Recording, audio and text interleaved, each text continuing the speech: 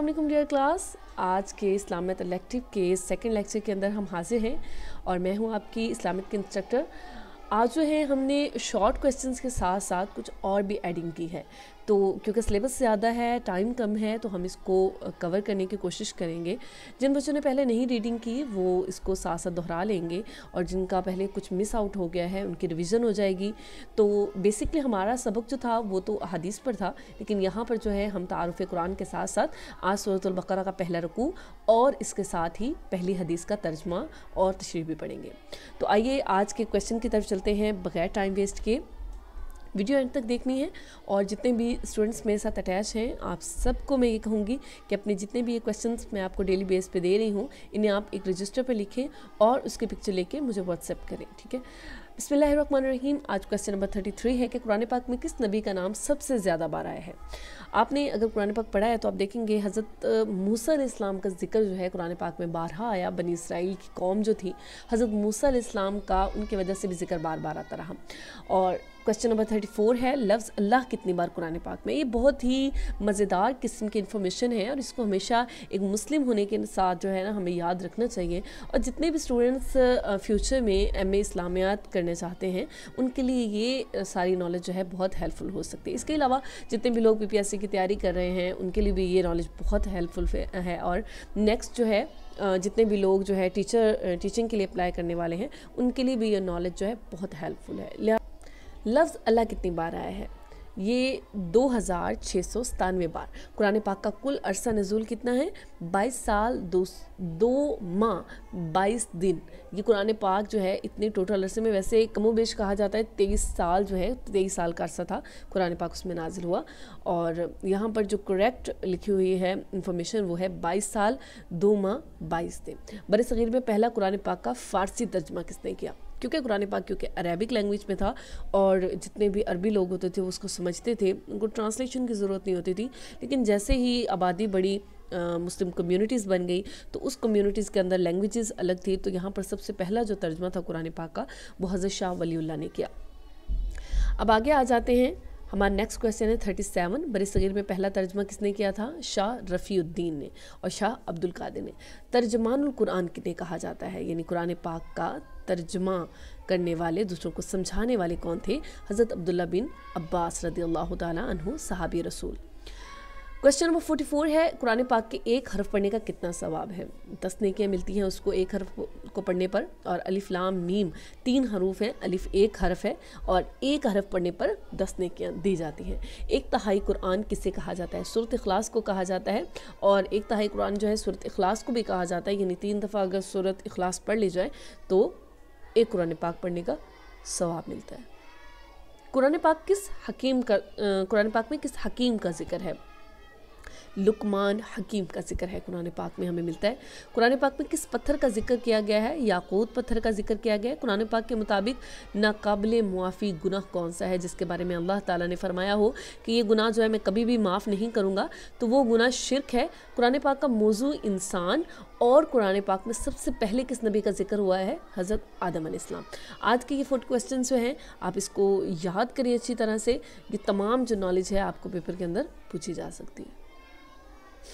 बिसमीम सूरतुल्बकरा जैसे कि हमने कल सिलेबस में पढ़ा था कि हमारे सिलेबस के अंदर सूरतुल्बकरा के 20 रुकू पढ़ाए जाएँगे और आज जो है हम सूरतुल्बकरा का पहला रुकू भी पढ़ेंगे और इसकी तशरी भी पढ़ेंगे। आपने इन रुकू की जितनी भी आयात हैं डेली रुकू जो है, आपसे ग्रुप के अंदर सुना जाएगा।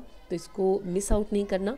आपने डेली बेस पर जितना भी लेसन मिल रहा है, इसकी मुकम्मल रिकवरी की जाएगी। आपने बिल्कुल भी रिलैक्स नहीं होना कि हमें जो है ना जस्ट सुनना है और सुनने पे बात ख़त्म हो जाएगी। नहीं, बल्कि आपने डेली बेस पर इस लेक्चर को जितना भी आप सुन रहे हैं, इसे डेली ग्रुप में सुना कर बताना भी है कि हमने सुनकर क्या हासिल किया कितना आपको याद है। प्रैक्टिस हो जाएगी इससे। बसमीम सूरतुल्बकरा बकरा जो है असल में गाय को कहते हैं, अरबी ज़ुबान का लफ्ज़ है और इस सूरत का नाम सूरतुल्बकरा इसलिए रखा गया क्योंकि ये सूरत इसके अंदर गाय का ज़िक्र मौजूद है। गाय का एक पूरा वाक्य मौजूद है जो कि आने वाले आयात में इन अज़ीज़ हम पढ़ेंगे। बसमीम अलिफ्लाम मीम। अलिफ्लाम मीम जो है, मुख्त सूरतों के शुरू में हमने कल भी पढ़ा था हरूफ मकताद कितने हैं। सब स्टूडेंट्स को याद होंगे। जहन में ज़रूर इस सवाल के बाद दोहराइएगा। हरूफ मकताआत जो हैं, चौदह हैं। मुख्तु सूरतों के शुरू में ये हरूफ इस तरह अलग अलग नाजिल हुए थे और इनको हरूफ मकताआत कहते हैं। और सही बात यह है कि इनका ठीक ठीक मतलब सिर्फ़ अल्लाह ताला को पता है और नबी करीम सल्लल्लाहु अलैहि को पता है। राज है, ये किसी और पर इंकशाफ नहीं किया गया। आगे आ जाते हैं दूसरी आयत।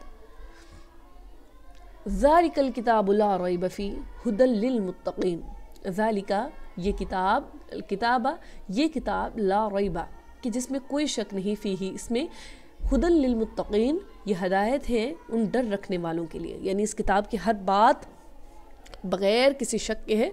दुरुस्त है, इंसान की लिखी हुई किताब से सौ फ़ीसद, यानी मुकम्मल तौर पे ये ठीक है, क्योंकि इंसान कितना ही बड़ा आलिम क्यों ना हो जाए, कितना भी बड़ा उसके पास इलम आ जाए गलती की गुंजाइश उससे हमेशा रहती है। लेकिन कुरान पाक एक ऐसा इलम है, एक ऐसी किताब है जिसमें कतान किसी गलती की गुंजाइश नहीं है।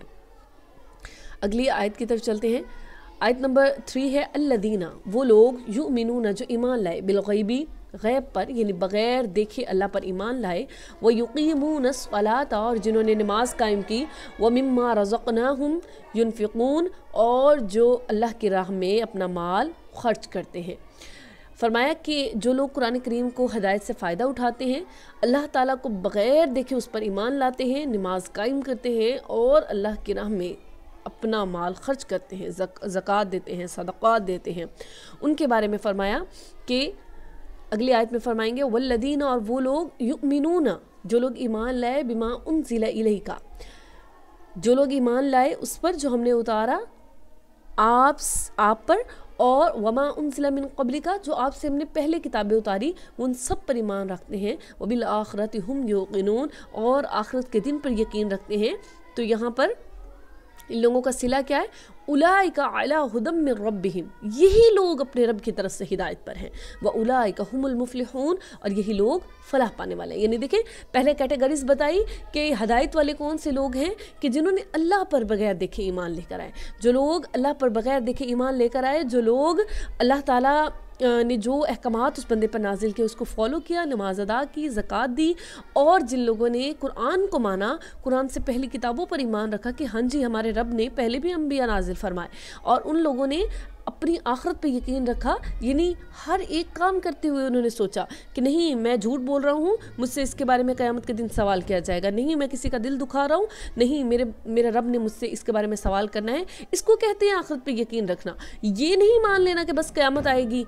इस बात पर नहीं, बल्कि हर एक काम करते हुए सोचना कि मेरा रब मुझे देख रहा है, मुझसे क़यामत के दिन इसके बारे में सवाल होगा। अल्लाह फरमाता है, यही लोग अपने रब की तरफ़ से हिदायत पर हैं और यही लोग फला पाने वाले हैं कि इन लोगों ने अपने रब के तमाम अहकाम को माना और इन नल्लदीन कफ़रू। अब आगे, जब ईमान वालों का ज़िक्र हो जाता है तो वहाँ साथ ही उन लोगों का भी ज़िक्र होता है जिन्होंने रब का इनकार किया।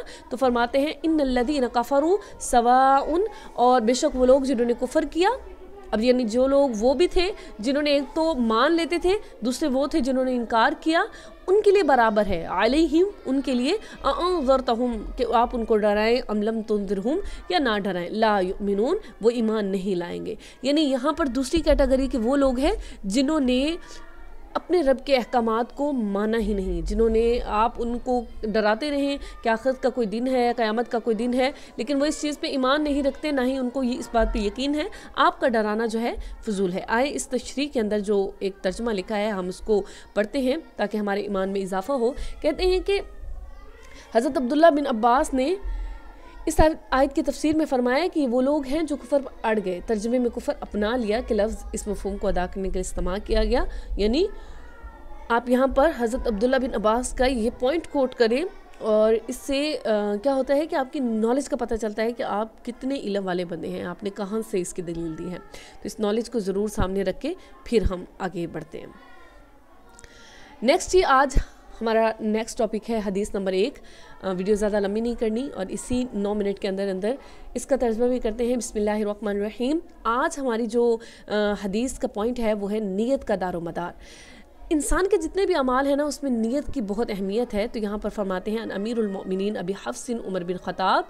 यहाँ पर हज़रत अबू हफ्स उमर बिन ख़ताब से रवायत है। आप फरमाते हैं कि कौला समियात रसूलुल्लाह सल्लल्लाहु अलैहि वसल्लम मैंने रसूलुल्लाह सल्लल्लाहु अलैहि वसल्लम को फरमाते हुए सुना। अब यहाँ पर यह जो अमीरुल मोमिनीन अबू हफ्सिन उमर बिन खिताब है यह हज़रत उमर फ़ारूक का ज़िक्र है।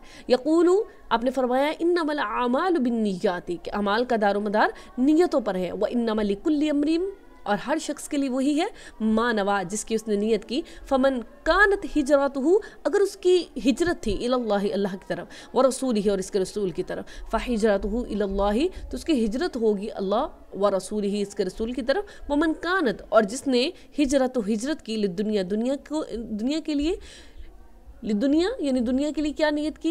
युसीब हुआ कि उसको हासिल करे। अविमरातिन, और यहाँ पर एक मिसाल दे दी। या यन की हुआ कि वो निकाह करने औरत से फ़हिजरत हो तो बस उसकी हिजरत जो है, उधर ही तस्लीम की जाएगी। इलामा हाजर इले जिसकी तरफ़ उसने हिजरत की। अब यहाँ बहुत आसानी का तरीका ये है कि अक्सर बच्चे जो है ना, अरबी पढ़ते हुए बहुत ज़्यादा गलतियाँ करते हैं, और अक्सर जो है बच्चे लफ्ज़ों का सही माना नहीं बता पाते, लफ्ज़ी गलतियाँ बहुत ज़्यादा करते हैं, और तर्जुमे को जो है वो लफ्ज़ नहीं करना, आपने बामहावरा तर्जमा करने की कोशिश करनी है कि जिससे कम से कम ये फ़ायदा होता है कि पूरी लॉजिकली बात समझ में आ जाती है। जैसे इस हदीस का तर्जमा यह है कि हज़रत उमर अमीरमिन हज़रत उमर रदी अल्लाह तु से रवायत है और आप फरमाते हैं कि रसूल वसल्लम को मैंने फरमाते हुए सुना, आप फरमा रहे थे कि बेशक अमाल का जो दारो मदार है वो नीयतों पर है और हर शख्स के लिए वही है जिसकी उसने नीयत की। अगर उसने अल्लाह और इसके रसूल के लिए नीयत की तो उसकी उधर ही नीयत मानी जाएगी और अगर उसने दुनिया को हासिल करने के लिए, औरत से निकाह करने के लिए नियत की तो बस उसकी हिजरत उसी चीज़ की तरफ़ है। तो ये इसका बा मुहावरा तर्जमा है। अब आ जाते हैं हम इस हदीस की थोड़ी सी तशरी की तरफ़। तो देखें नीयत का क्या मतलब है? एक शख्स ने नमाज़ पढ़ी और वो नमाज़ जो थी वो लोगों को दिखाने के लिए पढ़ रहा था। अब उसने देखिए, मेहनत तो वही की जो एक आम शख्स कर रहा था।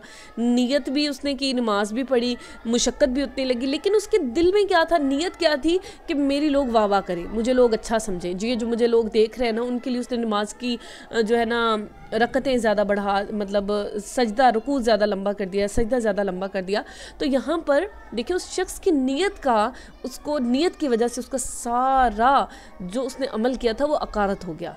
अब यहाँ पर उसकी नीयत, क्योंकि लोगों को खुश करने की थी अल्लाह ताला की सच्ची इबादत की नहीं थी तो लिहाजा उसको उस पर कोई सवाब नहीं मिलेगा, बल्कि क़यामत वाले दिन ऐसे शख्स से कहा जाएगा कि बंदे, जा, जिन लोगों के लिए तो अमल किया करता था, उनसे जाके अजर मांग, क्योंकि अगर तूने हमारे लिए अमल किया होता तो हम इसका तुझे अजर अदा करते।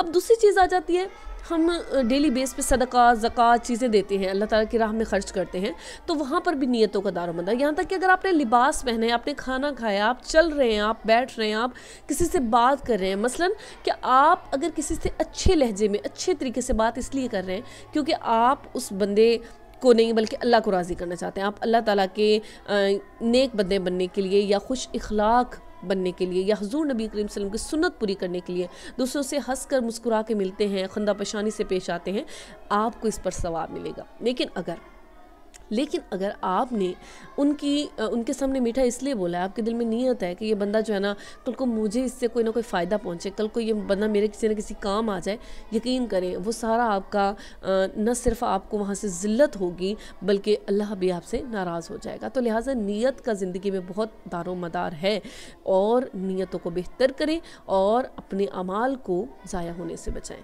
अल्लाह ताला हम सबको इस पर अमल करने की भी तोफ़ी दे और जितने भी लेसन हैं, इनको अच्छी तरह याद करें और फ़ी अमान घरों में खुश रहें आबाद रहें।